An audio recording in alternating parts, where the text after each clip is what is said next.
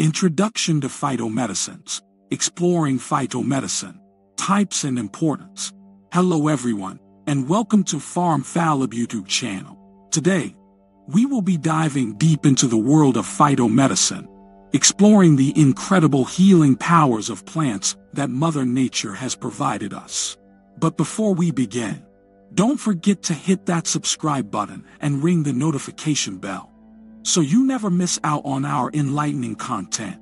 In this video, we'll be exploring the meaning of phytomedicines, types of phytomedicine, and discussing their importance in modern healthcare. So, let's jump right in. What is phytomedicine? Phytomedicine refers to the use of plant-based substances, such as herbs, plants, and botanicals, for medicinal purposes. Phytomedicine, also known as herbal medicine, has been used for centuries to treat various ailments and promote overall well-being. These herbs are not just pretty to look at.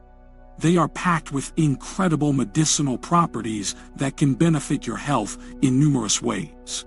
This practice has a long history dating back to ancient civilizations. It's a fascinating field that combines the power of nature with the science of medicine. Types of phytomedicines now that we know what phytomedicine is, let's discuss its various types. Herbal medicine.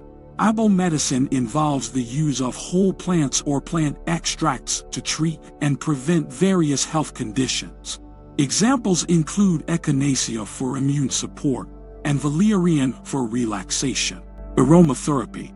Aromatherapy uses essential oils extracted from plants to promote physical and psychological well-being. Lavender oil, for instance, is known for its calming properties. Traditional Chinese medicine, TCM. DCM incorporates various phytomedicinal practices, including acupuncture and the use of herbs like ginseng and ginkgo biloba. Ayurvedic medicine. Ayurveda, an ancient Indian system, utilizes herbs and plants like turmeric and neem for holistic healing. Phytochemicals. Phytochemicals are bioactive compounds found in plants that offer health benefits. These include in the antioxidants like flavonoids and polyphenols. Analgesics. Analgesic phytomedicines relieve pain. Willow bark contains natural aspirin-like compounds. Sedatives. Sedative herbs, like valerian and chamomile, promote relaxation and sleep. Importances of phytomedicines.